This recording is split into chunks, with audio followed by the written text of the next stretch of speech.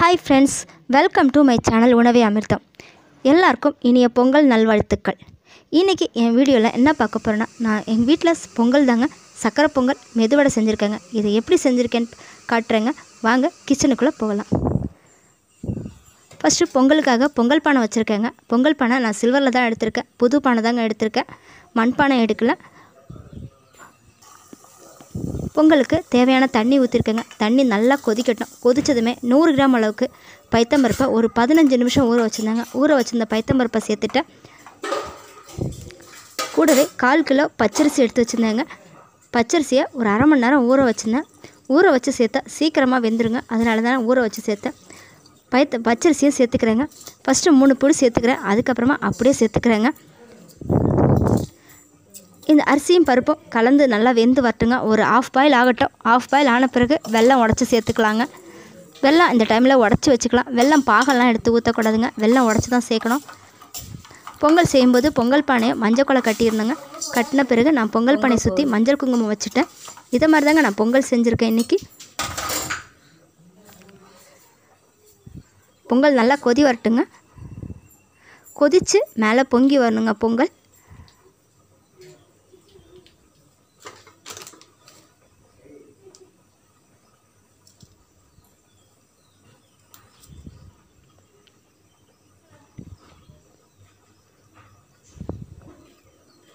பொங்கல் கொதிக்க ஆரம்பிச்சிடுச்சுங்க என் என் பொங்கல் கொதிக்க ஆரம்பிச்சிடுச்சு இப்போ நல்லாவே பொங்கி வந்துடுச்சுங்க பொங்கி வ வழிஞ்சிடுச்சு. பொங்கல் வ செய்யும்போது இது மாதிரி பொங்கி வழிஞ்சிடணுங்க.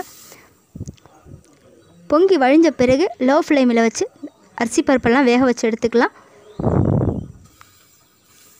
அரிசியும் பருப்பும் ஒரு ஹாஃப் பர்சன்டேஜ் அளவுக்கு வெந்து வரட்டுங்க. அதுக்கப்புறமா வெள்ளத்தை சேர்த்துக்கிறேன்.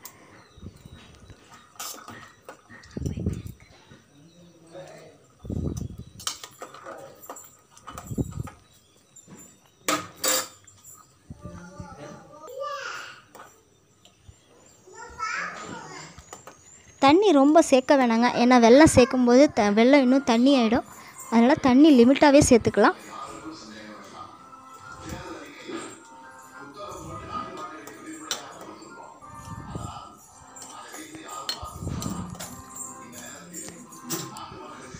நடுவில் நடுவில் கலரையும் விட்டுடுறாங்க. இப்போ பொங்கல் பார்த்திங்கன்னா பச்சரிசியும் பருப்பும் ஒரு பாதி அளவுக்கு வெந்துருச்சு. இப்போ நான் உடச்சி வச்சுருந்த வெள்ளத்தை சேர்த்துக்கிறேங்க.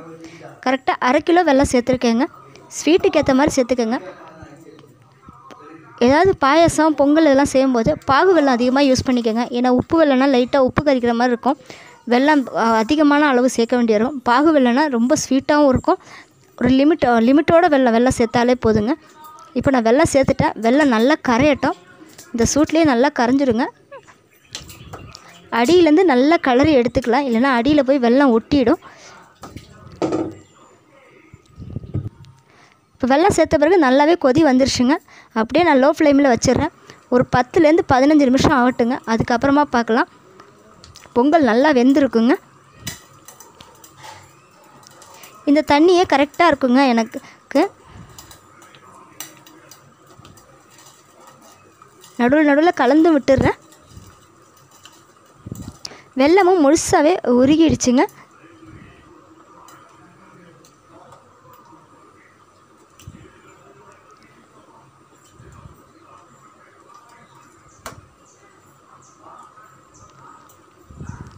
அப்படியே ஒரு பதினஞ்சு நிமிஷம் விட்டுடுறேங்க. பதினஞ்சு நிமிஷம் கழித்து பார்க்கலாம். இப்போ பாருங்கள் பதினஞ்சு நிமிஷம் முடிஞ்சிருச்சு. அரிசி பருப்பு எல்லாமே நல்லா வெந்துருச்சுங்க. பொங்கல் சூப்பராக ரெடி ஆயிடுச்சு. இப்போ நான் மேலால் ஒரு ஸ்பூன் அளவுக்கு ஏலக்காய் தூள் சேர்த்துருக்கேங்க. ஏலக்காய் சு தூள் சேர்த்து நல்லா கலரி விட்டுக்கிறேன்.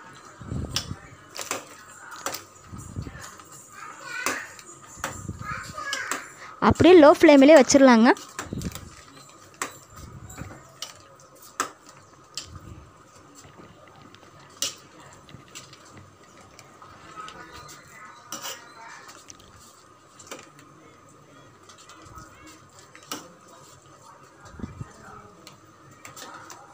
நான் சேர்த்த அரிசி பருப்பு அளவில் பார்த்தீங்கன்னா பொங்கல் இந்த பானை ஃபுல்லாகவே வந்துடுச்சுங்க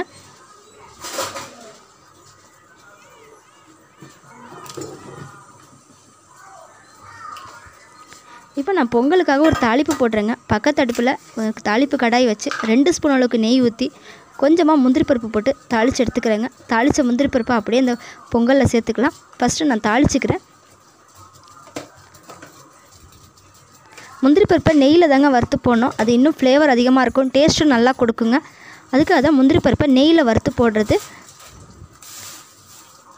திராட்சை நான் சேர்க்கலைங்க. திராட்சை சேர்த்தா பொங்கல் வந்து லைட் நைட்டு வரைக்கும் தாங்காதுங்க. புளிச்சிரும். அதனால் திராட்சை நான் சேர்க்கல. வெறும் முந்திரி பருப்பு மட்டும்தாங்க சேர்த்துருக்கேன். ஒரு கைப்பிடி அளவுக்கு முந்திரி பருப்பு சேர்த்துக்கலாங்க. முந்திரி பருப்பு சேர்த்து நல்லா பொரிய விட்டு எடுத்துக்கிறேன்.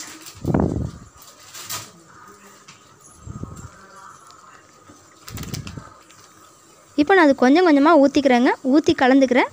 பிறகு நெய் நல்லா நல்ல சூடாக இருக்குங்க. அப்படியே ஊற்றிக்கிறேங்க ஊற்றி கொஞ்சம் கொஞ்சமாக ஊற்றி தான் கலர முடியும்.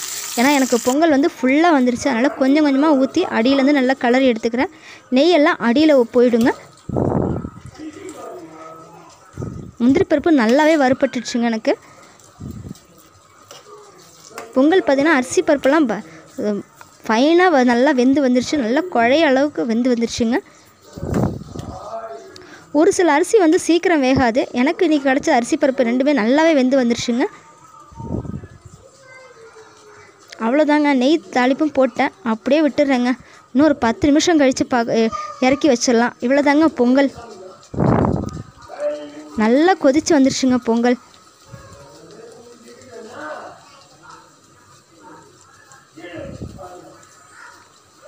மெதுவடைக்காக உளுத்தம்பருப்பு வந்து கரெக்டாக இரநூறு கிராம் அளவுக்கு ஊற வச்சுருந்தாங்க.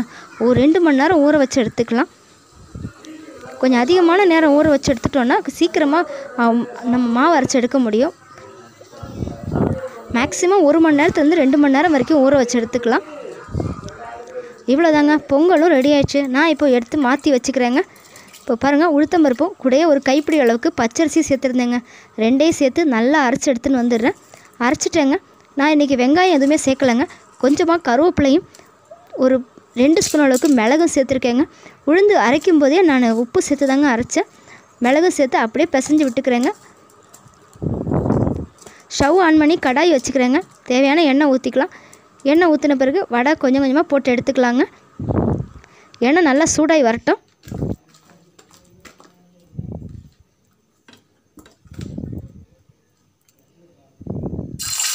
ஒவ்வொன்றா போட்டு எடுத்துக்கிறேங்க. இவ்வளோதாங்க கரெக்டாக ஒரு இருபது வடை வந்ததுங்க. இதுதாங்க இன்றைக்கி எங்கள் வீட்டு பொங்கல். சக்கரை பொங்கலும் மெதுவடையுமே. இது இப்படி தாங்க நான் செஞ்சேன். இன்றைக்கி நான் செஞ்ச விதம் உங்களுக்கு பிடிச்சிருக்குன்னு நினைக்கிறேங்க. பிடிச்சிருந்தால் நீங்களும் இதே மாதிரி ட்ரை பண்ணுங்கள் பிடிச்சிருந்தால் என் சேனலுக்கு சப்ஸ்கிரைப் பண்ணுங்கள் லைக் பண்ணுங்கள் ஷேர் பண்ணுங்கள் கமெண்ட் பண்ணுங்கள் அடுத்த பொங்கலோட லன்ச் மெனியோட நான் உங்களை சந்திக்கிறேங்க.